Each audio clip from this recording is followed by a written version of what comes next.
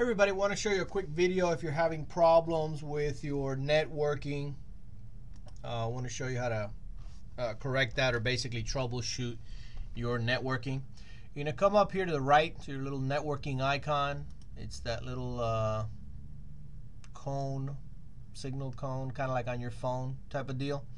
And when you get that drop down, you're going to see here the check marks for enable Wi-Fi and enable networking. So if any of those two are unchecked, maybe you inadvertently unchecked them or what have you, um, then that's the main first thing you would do is just make sure they're checked.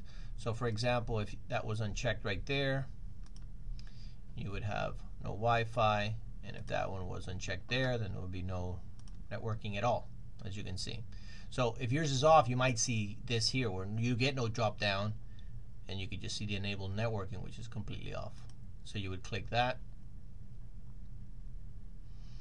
that would enable your networking and then you would enable your Wi-Fi if you're using Wi-Fi. And that would get you back online. Also if you're coming here uh, and you see that it's enabled and you're getting no connection the other thing you could try is just you know disable and then re-enable. So those are kind of like little glitches that you might run into Okay. The other thing uh, I wanted to show you here is about editing connections. Let's say uh, you've changed your password or uh, you're having some other type of trouble with, with networking. Uh, you can go here to edit connections. That will show you the list of uh, all the Wi-Fi's you've connected to, especially like for example on a laptop, you're probably gonna have a bunch.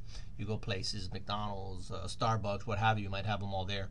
Um, so there you can just go, what I would suggest there is just go to the different connections and just basically delete them all and start fresh, especially at your home. Change the password, just delete it, start fresh. Uh, it's another little troubleshooting uh, tip for you uh, as well. So, a couple troubleshooting tips for you on Linux, and uh, thanks for watching. I'll see you in the next video.